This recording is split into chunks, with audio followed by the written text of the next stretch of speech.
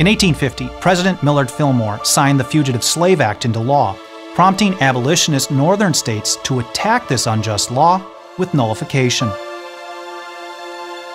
The Fugitive Slave Act of 1850 counts as one of the most reprehensible laws in American history.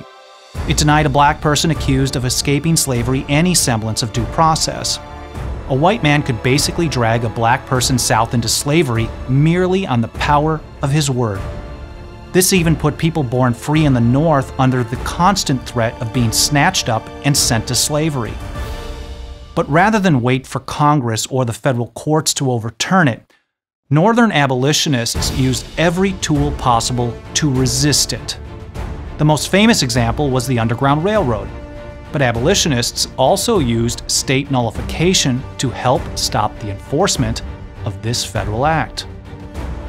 On November 13, 1850, the Vermont legislature passed a bill known as the Habeas Corpus Act. It required the state to protect and defend any person in Vermont arrested or claimed as a fugitive slave.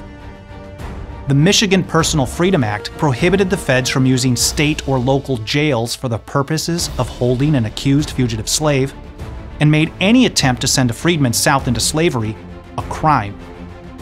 A Massachusetts Personal Liberty Act called for the removal of any state official who aided in the return of runaway slaves and disbarment of attorneys assisting in fugitive slave rendition. Another section authorized impeachment of state judges who accepted federal commissioner positions, authorizing them to prosecute fugitive slaves. Famous abolitionists publicly supported these efforts. John Greenleaf Whittier said, So far as that law is concerned, I am a nullifier and William Lloyd Garrison supported him when he wrote, The nullification advocated by Mr. Whittier is loyalty to goodness.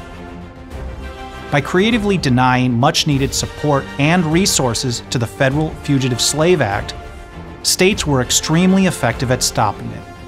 In the end, almost every northern state enacted laws which either nullified the Fugitive Slave Acts or rendered useless any attempt to enforce them.